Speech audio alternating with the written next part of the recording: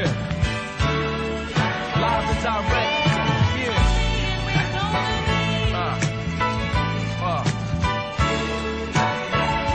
Yeah. Yeah. Yo. Yeah. Live and direct. Yes, it's five dollars a gallon. This shit's draining my wallet. Held to the throat by the talon. Stop it. Uranium enrichment and nuclear rockets. Iran is waiting and delaying till we drop the topic now. How about that? Can you believe it? In fact, I've been on track to spit politics and rap and to take us back to an era less swag where we never took crap. On hot spot was something that we never lacked. Jack now, can you believe I've been spreading the seed? They observe and see, but people still have been saying.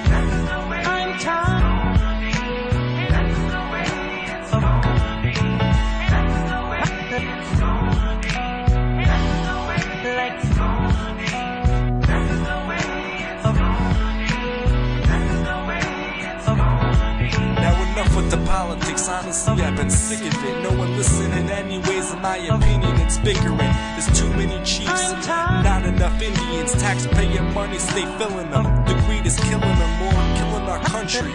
Rewarding people for no longer being hungry. Motivation is gone, unemployment too high. So people turn to the wrong. I'm losing hope, so I know I'll keep writing these songs. From the greatest generation to the laziest yet. We're close to failing, I'm willing to bet we're wrecked, but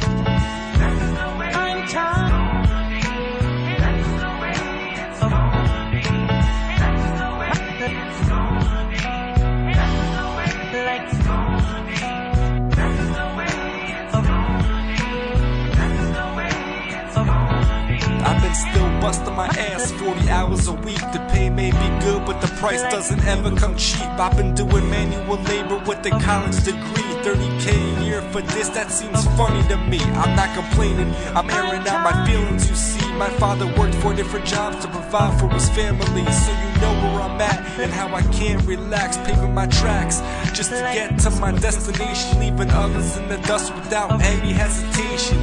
Y'all getting too comfortable, staying complacent. I'm trying to raise my status and improve my placement. My goal is to reach my dreams, so I keep on chasing. Yeah.